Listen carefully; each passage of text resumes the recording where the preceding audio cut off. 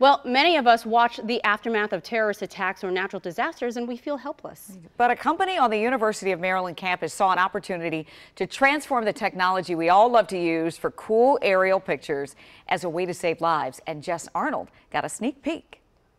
It's difficult to prevent a mass casualty situation, like a terrorist attack or natural disaster, but a company born on the University of Maryland campus called Airgility thinks it can help save lives in the aftermath. When I'm looking at something like that, it, it, what goes through my head is oh, this problem can be solved, and, um, and how do we solve that problem? The Airgility team says the solution starts at takeoff.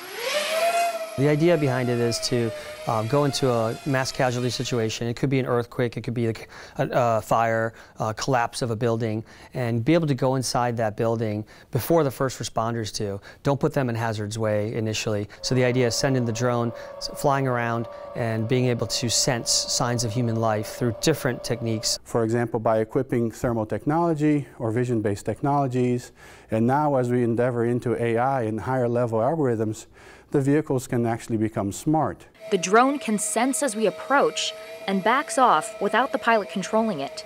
And their drone is more sophisticated than the typical quadcopter we're used to seeing. We're able to orient our aircraft in many different configurations and also go a little further and faster than your average quadcopter. So that allows us to do a, a much bigger range of missions. The heart of every mission, though, is helping humanity.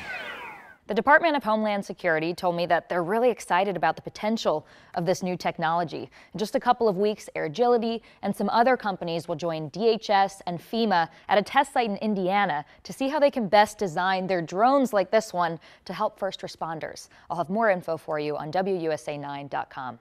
Jess Arnold, WUSA 9.